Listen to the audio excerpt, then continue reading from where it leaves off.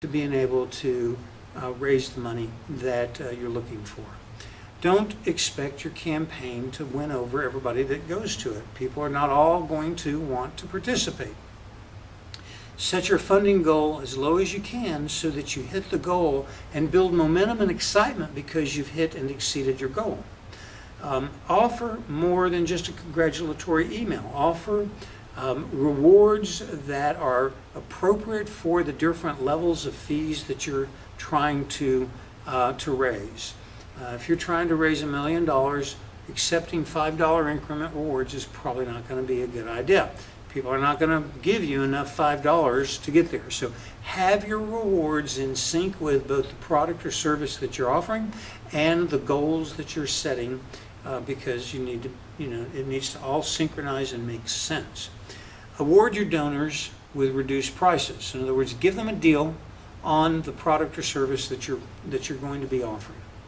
Don't skimp on the design of your product and don't skimp on the design of the offering page. It needs to be well done. There are credit-based funding platforms out there like lendingclub.com and prosper.com. I'm not going to spend much time talking about them because it's very simple. If you're trying to raise money through a crowdsourced debt credit program, you are still going to have to meet the fundamental ratios and lending parameters that you would for almost any bank.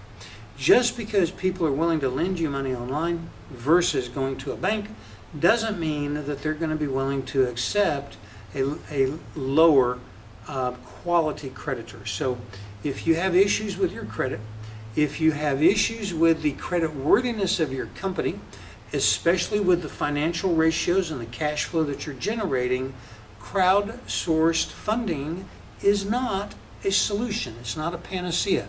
You still have to meet the creditworthiness requirements that you would have to meet with almost any bank.